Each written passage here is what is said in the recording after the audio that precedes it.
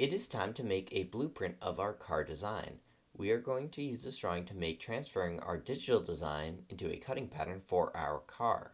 The first step is to have downloaded the template from Google Classroom. We did this together. It will be called cmscardrawing.dwg.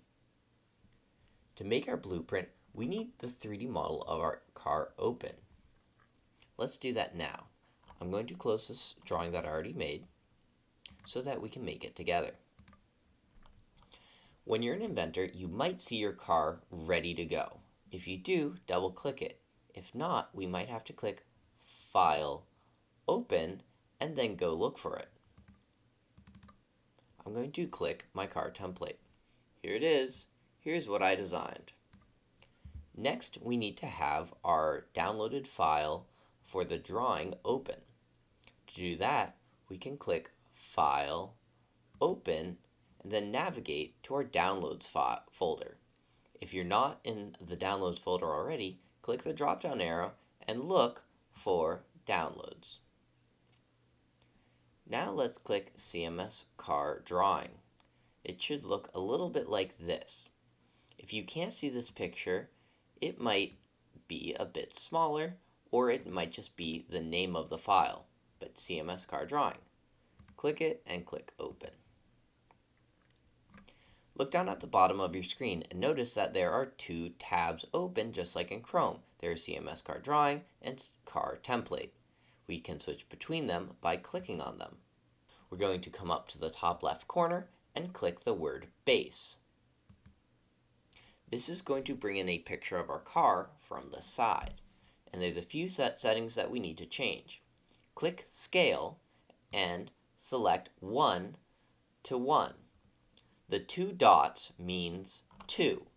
That is going to make the car life size when your teacher prints it out. We can reposition our car so that it fits well. Position it so it's near the bottom and centered, but not overlapping anything. We need to click this little gray arrow at the top of the drawing it put in. This is going to give us the top or bottom view. When you have both views and they are inside of the border, they're not overlapping anything, we can adjust their position by clicking and dragging on them.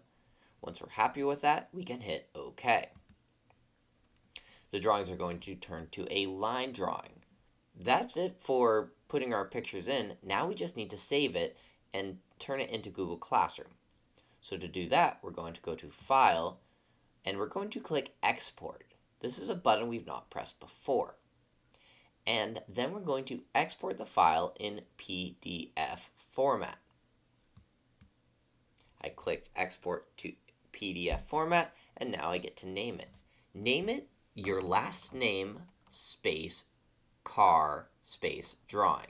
So for me, it will be hill space car space drawing and then hit save. Notice what you saved it in. Mine's being saved in the downloads folder. If yours is being saved somewhere else, please notice that so that when you go to upload it to Google Classroom, it's a lot easier to find. Hit save. Your next step is to go to Google Classroom and turn in this file.